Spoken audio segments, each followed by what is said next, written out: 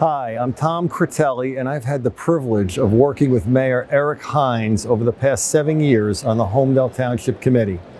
Eric is a true leader in every sense of the word. As Township Committeeman, Eric has led the charge for open space preservation, recreation improvements, enhanced school security at all of our schools, and truly challenges all the employees of Holmdel Township to be the best they can be every single day. I believe Eric and his running mate, Mrs. Liu, deserve your vote for the Holmdel Township Committee on November 5th, 2019. Thank you very much.